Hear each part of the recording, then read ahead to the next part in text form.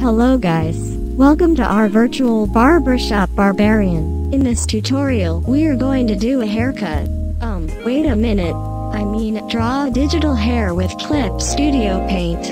I'd like to give you 5 tips when drawing hair in Clip Studio Paint. Some of the tips will also be useful for traditional media, but let's go virtual first.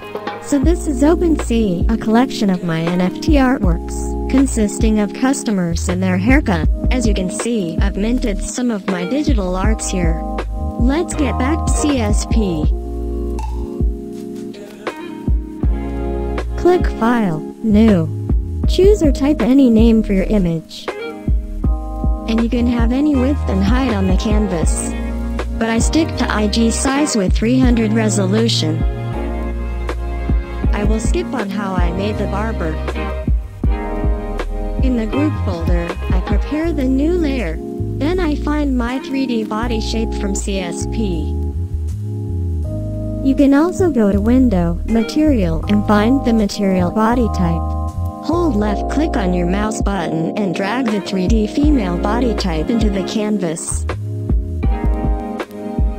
The icon that I click is the camera position of my 3D character. For the tutorial purpose, let's click on the left position. Rotate the 3D with left click mouse, and zoom it out with right click mouse.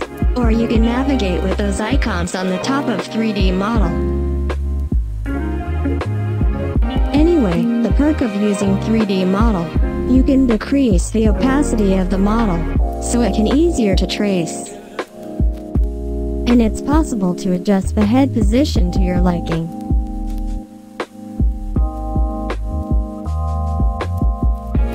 Then I move the layer position on top of my 3D model to create the draft. I'm using a standard G-pen to start my initial drawing. I'm fast forwarding this video, because everyone has a personal style.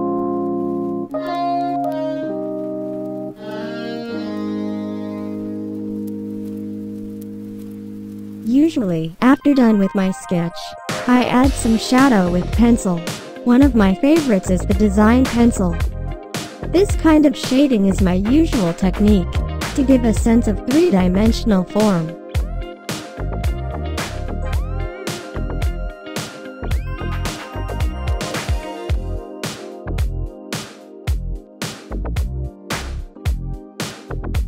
Moving on to the ink, or cleanup process, with another new layer. I used to ink my draft with mapping pen. It depends on your pressure. So let me give the first tip. Tip number 1. Think big shapes. Create a new layer for color blocking. I use auto select then click on the background. Use Ctrl, Shift, and I keyboard shortcut to invert the selection. Autofill the selection using Alt and Backspace.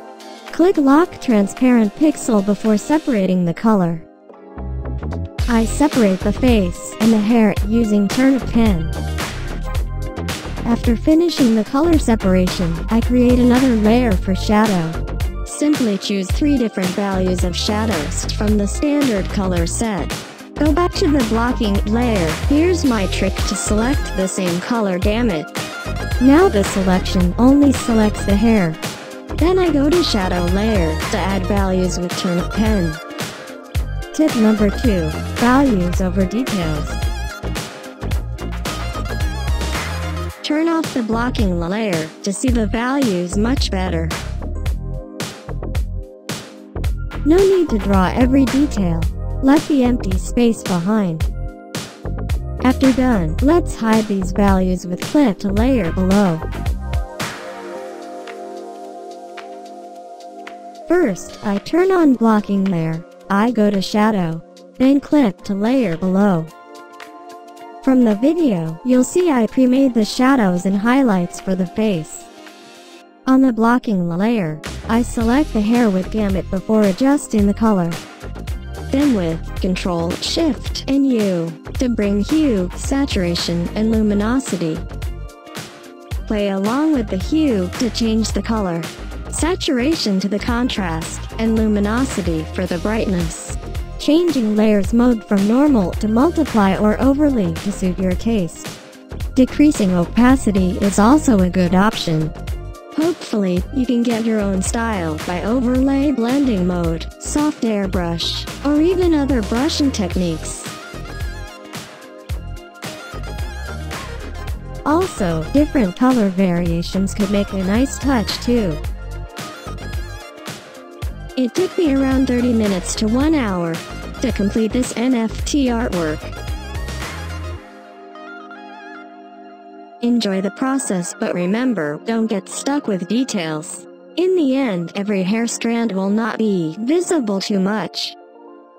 Moving along, let's go to my additional tip.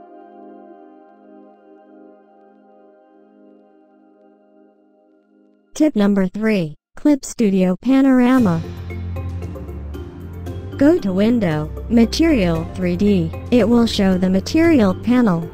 Your material will be different from mine, because some of them were downloaded from Clip Studio assets.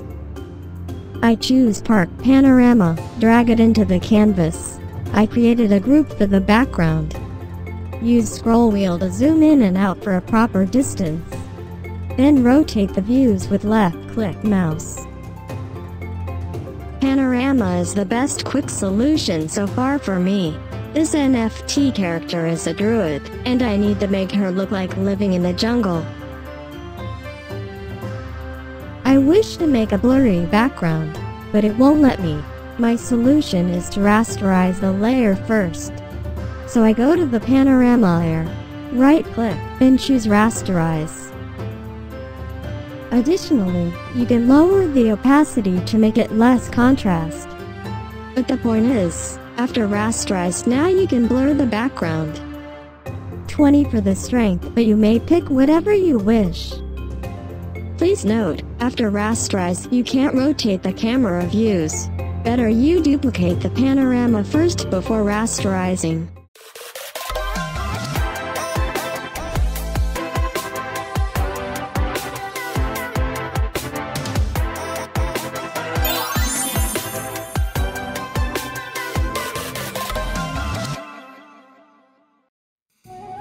Tip number 4. Using vector layer. Start with new vector layer, besides the raster layer. You can start with anything to ink, but I prefer a sharp, mapping pen. This is an advanced technique that requires patience.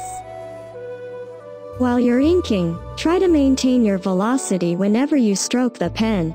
Be brave but don't stress yourself. Now with Operation Tool, select Object Subtool. You can see there are too many dots within a line. It's challenging to edit the whole hair. But I've got a solution. Go to the Control Line tool, choose Simplify Vector Line. As you can see, all the complicated dots were gone.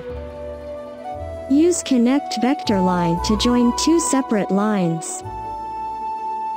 Now it's easier for you to adjust each of the lines with the control point tool.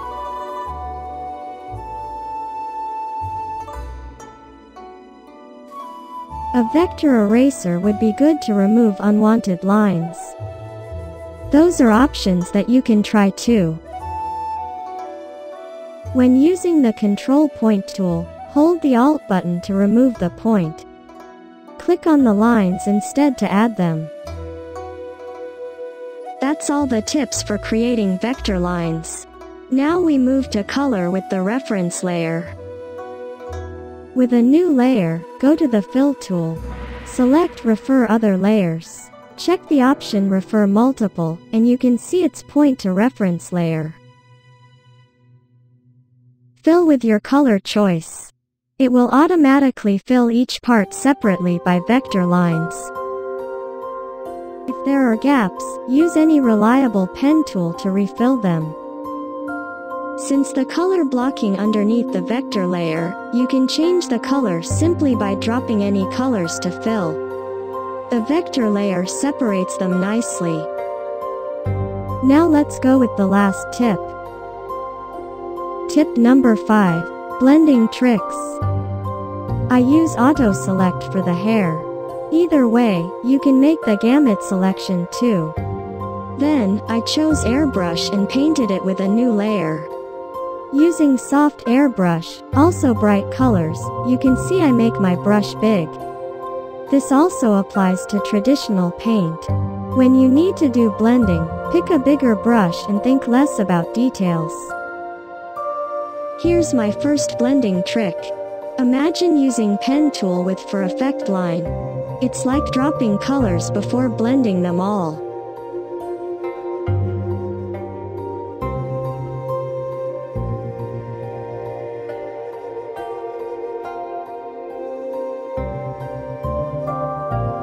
My second trick, use the blend tool.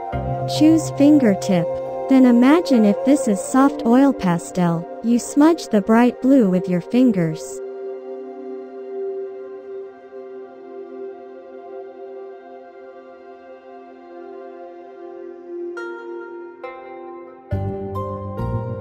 The third trick, you can add a shiny looking hair strand by using watercolor brush.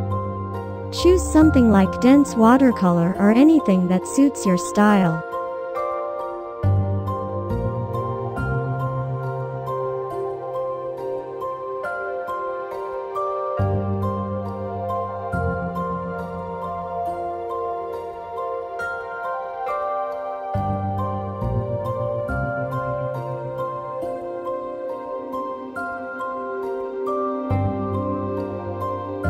Finally, if you wish to brighten some areas of the hair, I recommend choosing airbrush then highlights.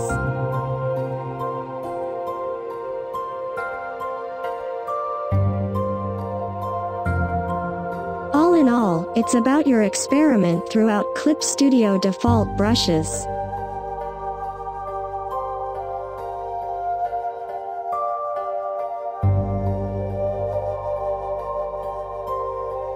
Changing the colors of the hair would be easier. As it only affects the layer that I'm currently working on it. Okiku is a Japanese doll with black hair. I just changed the saturation and luminosity.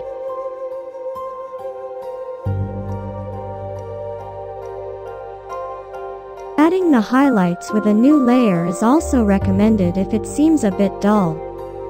But don't forget, you can use clip to layer below for the highlights only layer.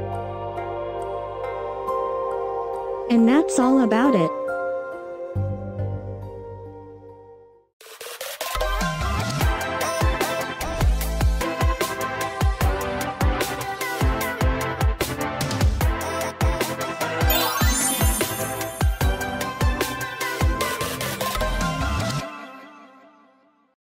For watching. I hope you enjoy my tips.